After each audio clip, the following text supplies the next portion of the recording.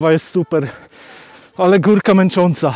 Cześć, witam Was serdecznie na kanale Fajna Telewizja. W dzisiejszym odcinku podbój stoków narciarskich. Hmm.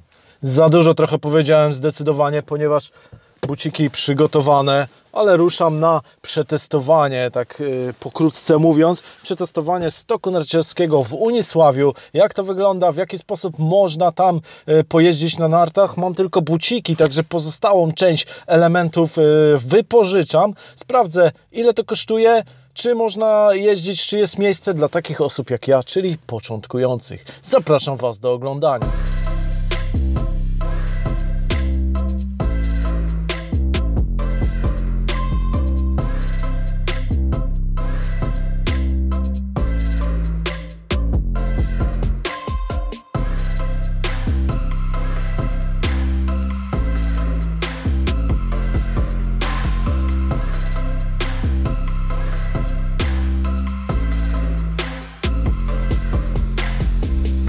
Za mną e, kolejka na wyciąg.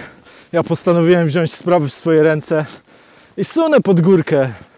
Zjeżdża się oczywiście super, fajnie się zjeżdża, ponieważ szybciutko jesteśmy na dole, ale podchodzenie pod górkę już nie jest ciekawe. Oczywiście wyciąg jest, ale zobaczcie tam z tyłu kolejka do tego wyciągu. No ponieważ mamy weekend, oczywiście pierwszy weekend po otwarciu stoków oficjalnych, więc każdy chce spróbować białego szaleństwa. Zabawa jest super, ale górka męcząca. Moi drodzy, całe podsumowanie jazdy w Unisławiu. Przede wszystkim bardzo, bardzo fajna zabawa. Byłem w weekend, także sobota, y, sporo ludzi. Ostatnie poluzowanie, czyli, czyli możliwość w ogóle wyruszenia wszystkich osób spowodowała, że był tam tłok. Spędziłem y, jakieś ponad pół godziny, myślę 40 minut, stojąc, czekając do wypożyczenia nart. Oczywiście to już od razu zniechęca, ale naprawdę opłacało się, było warto. Czy się opłacało? Zapłaciłem za wypożyczenie e, trzech par nart i kijków 90 zł, także, także cena no tutaj do dyskusji za dwie godziny.